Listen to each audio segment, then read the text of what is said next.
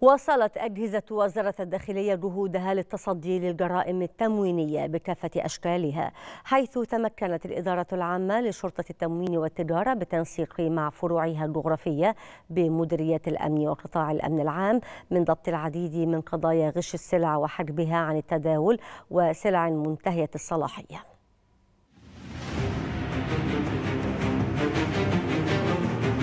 استكمالا للجهود الأمنية المبذولة لمكافحة الجرائم التموينية بشتى صورها.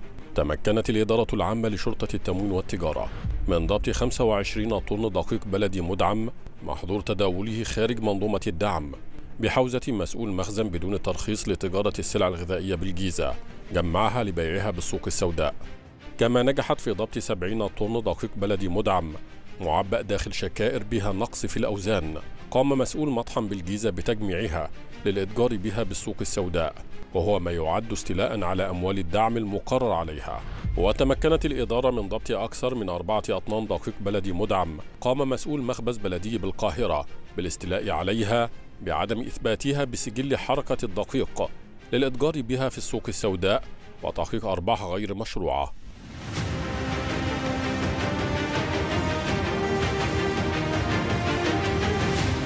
وعلى صعيد التصدي لجرائم حجب السلع عن التداول بالأسواق تمكنت الإدارة من ضبط أكثر من 18 طن دقيق أبيض مجهول المصدر بحوزة مسؤول مخزن بدون ترخيص لتجارة السلع الغذائية بالقليوبية.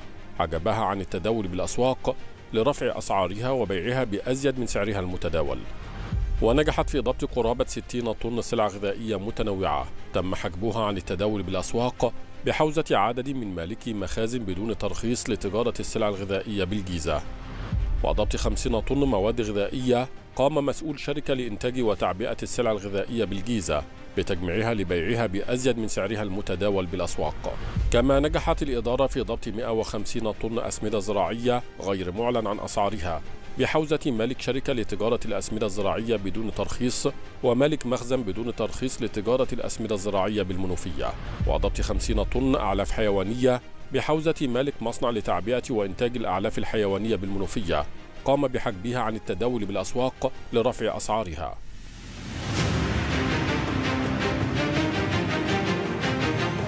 وعلى صعيد التصدي لجرائم بيع سلع منتهية الصلاحية. تمكنت الإدارة من ضبط أكثر من 125 طن ملح ومخللات غير صالحة للاستهلاك الآدمي خلال حملات شنتها الإدارة بنطاق محافظتي المنوفية والشرقية. وضبط قرابة 76 طن لحوم ودواجن ومصنعاتها غير صالحة للاستهلاك الآدمي بالإسكندرية والجيزة والمنوفية. وضبط 18 طن زيت طعام غير صالحة للاستهلاك الآدمي بحوزة مسؤول مخزن بدون ترخيص لتجارة السلع الغذائية بالإسكندرية وتمكنت الإدارة من ضبط 93 طن أعلاف حيوانية غير صالحة للاستخدام الحيواني بالمنوفية والشرقية. كما تمكنت من ضبط قرابة 155 طن بلاستيك مجهول المصدر وغير مطابق للمواصفات القياسية بحوزة مسؤول مخزن بدون ترخيص للبلاستيك بالشرقية.